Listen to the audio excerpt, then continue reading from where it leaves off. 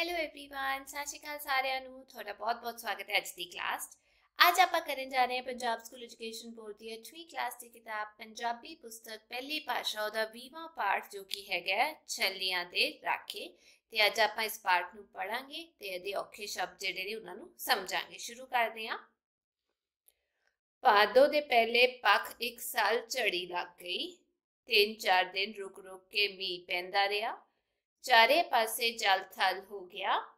ਮੀਰ ਰੁਕੇ ਤੇ ਪੰਛੀ ਆਪਣੇ ਖੰਭਾਂ ਨੂੰ ਝਾੜਦੇ ਤੇ ਚੋਗ ਲਈ ਉਡਾਨ ਪਾੜਦੇ, ਪਰ ਕਿੱਥੇ?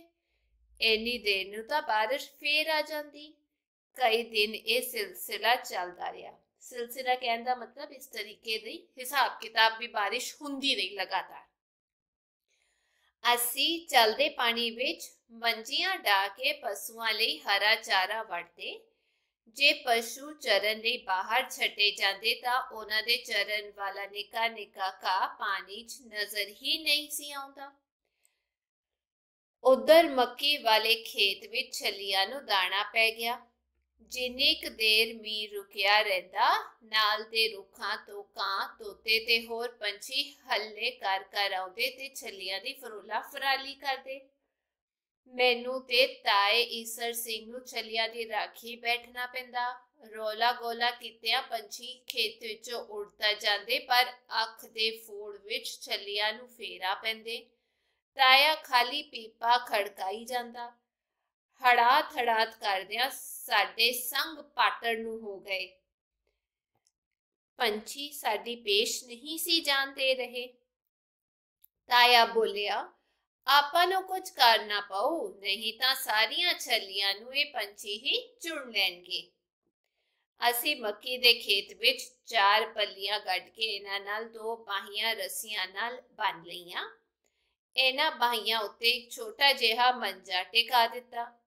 ਇਸ ਤਰ੍ਹਾਂ ਅਸੀਂ ਮੱਕੀ ਦੇ ਖੇਤ ਦੀ ਨਿਗਰਾਨੀ ਲਈ ਉੱਚਾ ਮੜਾ ਬਣਾ ਲਿਆ। ਹੁਣ ਮਣਾ ਕੀ ਹੁੰਦਾ ਹੈਗਾ? ਖੇਤ ਦੀ ਵਿੱਚ ਰਾਖੀ ਕਰਨ ਲਈ ਬਣਾਈ ਹੋਈ ਉੱਚੀ ਥਾਂ ਜਾਂ ਆਪਾਂ ਕਹਿ ਸਕਦੇ ਹਾਂ ਮਚਾਨ ਮੜੇ ਉੱਤੇ ਬੈਠ ਕੇ ਸਾਰਾ ਦਿਨ ਖੇਤ ਨਜ਼ਰੀ ਪੈਂਦਾ ਦੇਖੋ ਇੱਥੇ। ਦੂਜਾ ਮੀਂਹ ਕਣੀ ਵਿੱਚ ਖੇਤ ਗਿੱਲੇ ਹੋਣ ਕਰਕੇ ਮਣੇ ਤੇ ਆਰਾਮ ਨਾਲ ਬੈਠਿਆ ਜਾ ਸਕਦਾ ਸੀ। ਤਾਇਆ ਮੀਂਹ ਵਿੱਚ ਬੋਰੀ ਦੀ ਚੁੰਮ ਮਾਰੀ ਪੀਪਾ ਖੜਕਾਈ ਜਾਂਦਾ। ਕਿਸੇ ਪੰਛੀ ਦੇ ਆ ਬੈਠਣ ਬਾਰੇ ਉਹ ਮੈਨੂੰ ਦੱਸਦਾ। ਹੋ ਹੱਲਾ ਕਰਦਾ ਹੋਇਆ ਮੈਂ ਮੱਕੀ ਦੇ ਟਾਂਡਿਆਂ ਨਾਲ ਖੇਂਦਾ ਉਸ ਦਿਸ਼ਾ ਵੱਲ ਭੱਜਦਾ। ਮੇਰਾ ਰੌਲਾ ਸੁਣ ਕੇ ਭੁੱਖਾ ਪੰਛੀ ਥੱਕੀ ਟੁੱਟੀ, ਉਡਾਰੀ ਲਈ ਮਜਬੂਰ ਹੁੰਦਾ। ਇਸ ਚੜੀ ਦੌਰਾਨ ਇੱਕ ਦਿਨ ਸਵੇਰ ਤੋਂ ਹੀ ਮੀਂਹ ਰੁਕਣ ਦਾ ਨਾਂ ਨਹੀਂ ਸੀ ਲੈ ਰਿਹਾ। ਦੁਪਹਿਰ ਮਗਰੋਂ ਮੀਂਹ ਨਾਲ ਪੂਰੀ ਤਰ੍ਹਾਂ ਗੜੁਚ ਹੋਇਆ ਤਾਇਆ ਬੋਲਿਆ, ਭਤੀਜ, ਅੱਜ ਤਾਂ ਮੀਂਹ ਨੇ ਚਮ ਕੇ ਰੱਖ ਦਿੱਤੇ। ਜਾ ਘਰ ਤੋਂ ਚਾਹ ਬਣਵਾ ਲਿਆ। ਅੱਜ ਤਾਂ ਸਰੀਰ ਉੱਕਾ ਹੀ ਠੰਡਾ ਹੋਇਆ ਪਿਆ ਛੇਤੀ ਮੁੜ ਕੇ ਆਵੀਂ। ਪੰਛੀ ਵੀ ਅੱਜ ਭੁੱਖ ਦੇ ਮਾਰੇ ਅੰਨੇ ਹੋਏ ਡਿੱਗ ਰਹੇ ਨੇ। ਦੁਪਹਿਰ ਵਾਲੇ ਗੁਲਗੁਲੇ ਵੀ ਲੈਂਦਾ ਵੀ ਚਾਹ ਨਾਲ ਸਵਾਦ ਵੀ ਲੱਗਣਗੇ ਤੇ ਭੁੱਖ ਵੀ ਦਬ ਜਾਊ। ਸੰਨ ਰੱਸੀ ਦਾ ਬਣਾਇਆ ਗੋਪੀਆਂ ਮੜੇ ਤੇ ਬੈਠੇ ਤਾਏ ਕੋਲ ਹੀ ਸੀ। ਤਾਇਆ ਗੋਪੀਆਂ ਘੁਮਾਉਂਦਾ ਹੋਇਆ ਹੜਾਤ ਕਰਦਾ ਮੈਨੂੰ ਪਿੰਡ ਤੱਕ ਸੁਣੀ ਗਿਆ। ਹਵਾ ਦੇ ਬੁੱਲਿਆਂ ਨਾਲ ਰੁੱਖ ਆਪਣੇ ਪੱਤਿਆਂ ਤੋਂ ਇਸ ਤਰ੍ਹਾਂ ਪਾਣੀ ਛੱਡ ਰਹੇ ਸਨ ਜਿਵੇਂ ਉਹਨਾਂ ਅੱਜ ਕੇਸੀ ਇਸ਼ਨਾਨ ਕੀਤਾ ਹੋਏ। ਤਾਏ ਦੇ ਕਹੇ ਮੁਤਾਬਕ ਮੈਂ ਉਨੀ ਪੈਰੀ ਕਰੋ ਚਾਹ ਤੇ ਗੁਲਗੁਲੇ ਲੈ ਕੇ ਖੇਤ ਨੂੰ ਮੁੜ ਪਿਆ। ਕਣੀਆਂ ਤੇ ਪਰੀਕ ਪਰੀਕ ਝਾਰੇ ਵਿੱਚ ਮੈਂ ਵੇਖਿਆ ਕਿ ਕਿੰਨੇ ਹੀ ਗੰਡੋਏ ਧਰਤੀ ਤੇ ਰਿੰਗ ਰਹੇ ਸਨ। ਗੰਡੋਇਆਂ ਤੇ ਪੈਰ ਤਰਨ ਤੋਂ ਗੁਰੇਜ਼ ਕਰਦਾ ਹੋਇਆ, ਮੈਂ ਕਦੀ ਲੰਬੀ ਤੇ ਕਦੀ ਛੋਟੀ ਢੀਂਗ ਪੜਦਾ ਖੇਤ ਵੱਲ ਨੂੰ ਤੁਰਦਾ ਗਿਆ। ਫਿਰਨੀ ਤੋਂ ਖੇਤ ਵੱਲ ਮੁੜਦਿਆਂ ਜਦੋਂ ਮੈਂ ਮੱਕੀ ਦੇ ਖੇਤ ਦੀ ਵੱਟ ਤੋਂ ਲੰਘ ਰਿਹਾ ਸੀ, ਤਾਂ ਅਣਦੇਖੀ ਕਾਰਨ ਮੇਰਾ ਪੈਰ ਵੱਟ ਤੇ ਪਏ ਇੱਕ ਸੱਪ ਤੇ ਜਾ ਟਿਕਿਆ। ਮੈਂ ਡਰ ਗਿਆ, ਪਰ ਉਸਨੇ ਮੈਨੂੰ ਕੁਝ ਨਾ ਕਿਹਾ, ਸਗੋਂ ਉਹ ਤਾਂ ਟਿਕ ਟਿਕੀ ਲਾ ਕੇ ਵੱਟ 'ਚ ਕੁੱਟ ਪੁੱਟ ਰਹੇ ਚੂਹੇ ਵੱਲ ਵੇਖ ਰਿਹਾ ਸੀ। ਇੱਥੇ ਟਿਕ ਦਾ ਮਤਲਬ ਆਪਾਂ ਇਹ ਕਹਿ ਸਕਦੇ ਹਾਂ ਲਗਾਤਾਰ ਦੇਖਣਾ। ਸੱਪ ਵੀ ਭੁੱਖਾ ਲੱਗਦਾ ਸੀ। ਮੈਂ ਸੱਪ ਨੂੰ ਨਾ ਮਾਰਿਆ ਕਿਉਂਕਿ ਉਸਨੇ ਮੈਨੂੰ ਕੁਝ ਨਹੀਂ ਸੀ ਕਿਹਾ। ਚੂਹੇ ਨੂੰ ਮਾਰਨ ਵਿੱਚ ਰੁੱਝਿਆ ਸਭ ਮੈਨੂੰ ਮੇਰੀ ਮਦਦ ਕਰਦਾ ਪ੍ਰਤੀਤ ਹੋਇਆ। ਚੂਹੇ ਵੀ ਮੱਕੀ ਦੇ ਟਾਂਡਿਆਂ ਤੇ ਚੜ ਕੇ ਆਪਣੇ ਤਿੱਖੇ ਦੰਦਾਂ ਨਾਲ ਛੱਲੀਆਂ ਦਾ ਨੁਕਸਾਨ ਕਰ ਜਾਂਦੇ ਹਨ। ਪੰਜ ਅਜਿਹੇ ਖਿਆਲੀ ਮੈਂ ਮਣੇ ਵੱਲ ਹੋ ਤੁਰਿਆ। ਮੈਂ ਚਾਦੀ ਕੇਤਲੀ ਤੇ ਗੁਲਗੁਲੇ ਮਣੇ ਤੇ ਬੈਠੇ ਤਾਏ ਨੂੰ ਫੜਾ ਦਿੱਤੇ। ਤਾਇਆ ਚਾਹ ਤੇ ਗੁਲਗੁਲਿਆਂ ਦਾ ਆਨੰਦ ਲੈਣ ਲੱਗਾ। ਸਾਹਮਣੇ ਰੁੱਖਾਂ ਤੇ ਬੈਠੇ ਪੰਛੀਆਂ ਦਾ ਧਿਆਨ ਸਾਡੇ ਵਿੱਚ ਹੀ ਸੀ।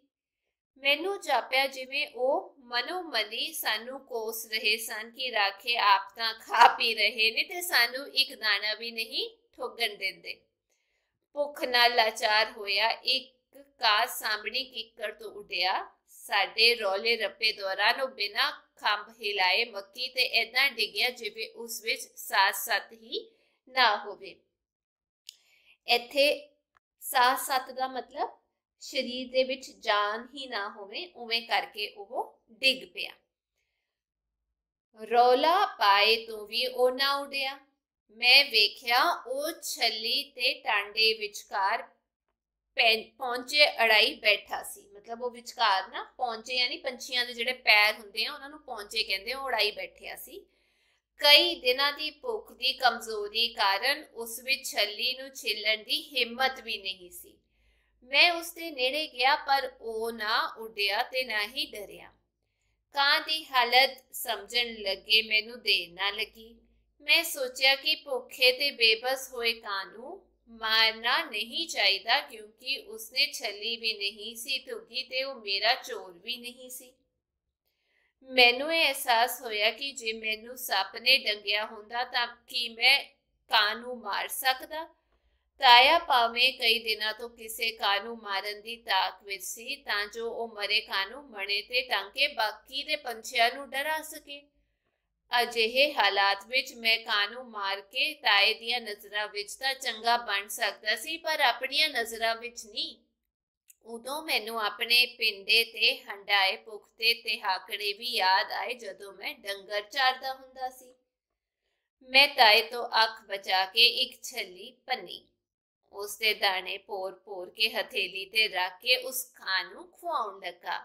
ਕਾਂ ਮੇਰੇ ਹੱਥ ਦੀ ਤਲੀ ਤੋਂ ਦਾਣਾ ਚੁੱਕਦਾ, ਮੇਰੇ ਵੱਲ ਤੱਕਦਾ ਤੇ ਸਿਰ ਨੀਵਾ ਕਰ ਲੈਂਦਾ। ਮੈਂ ਇੱਕ ਪਲ ਸੋਚਿਆ ਕਿ ਜਦੋਂ ਮੈਂ ਨਿੱਕੇ ਹੁੰਦਿਆਂ ਆਪ ਕੁਝ ਨਹੀਂ ਸਿਖਾ ਸਕਦਾ ਹੋਵਾਂਗਾ, ਤਾਂ ਮੇਰੀ ਮਾਂ ਮੈਨੂੰ ਇਸੇ ਤਰ੍ਹਾਂ ਖਵਾਉਂਦੀ ਹੋਵੇਗੀ।